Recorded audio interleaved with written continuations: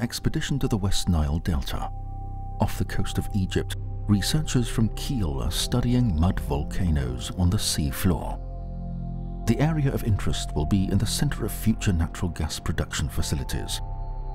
The scientists are analyzing the mechanisms that drive mud volcanism, the extrusion of gases, fluids and sediments, in order to evaluate potential geohazards that might affect production. Supervised by marine geologist Warner Brückmann, experts from several different fields are working closely together.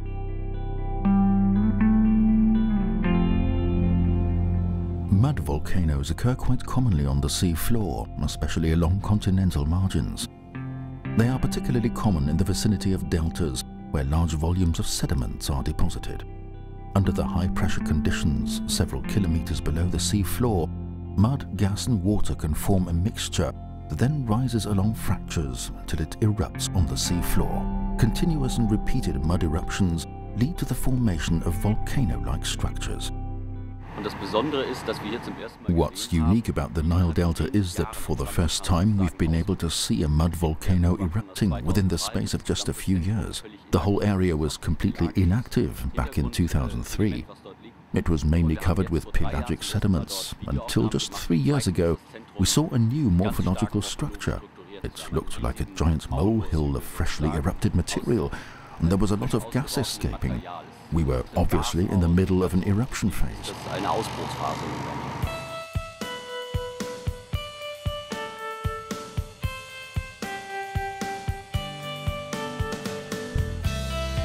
On board the Greek research vessel RV Aegaeo, this is the scientists' last expedition to the working area. Their mission is to complete their research and recover long-term instrumentation and observation stations from the two mud volcanoes known as North Alex and Giza.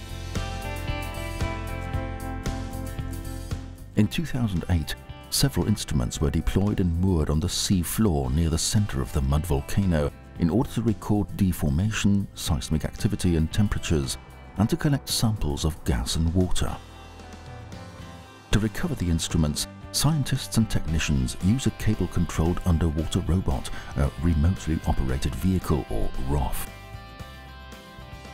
The MAX rover ROV relays video images of the submarine installations.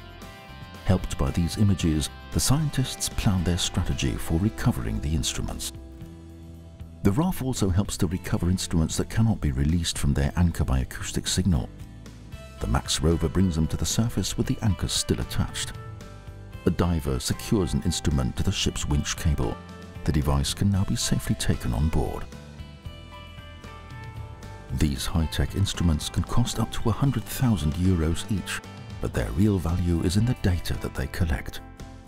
Processing of the data in the Institute's Kiel laboratories will shed light on the processes. This will enable safe production and handling of the resources that are buried deep beneath the sea floor.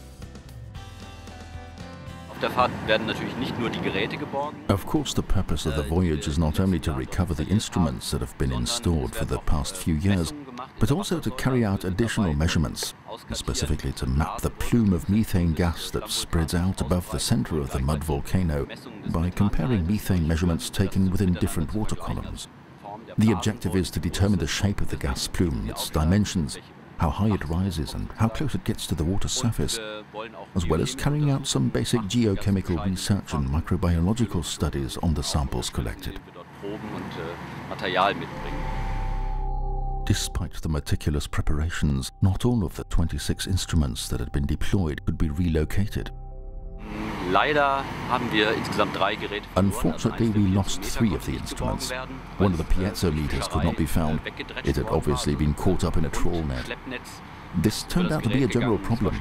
Another instrument, an ocean bottom seismometer, was not found because it had also clearly been removed by trawling.